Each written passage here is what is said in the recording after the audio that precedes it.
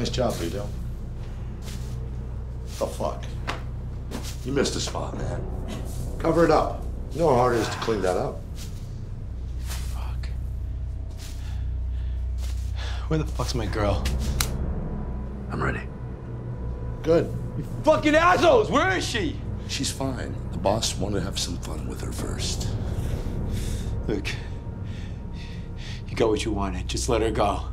You tried to kill our boss. You tried to steal our money. Look at where you're at. Look around. The problem with the world today is people like you think you're owed something. You're not owed anything.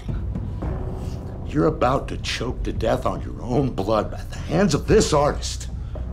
I'm really sorry you didn't get to watch his master work with your friend Bobby. Fucking assholes! It's time to go.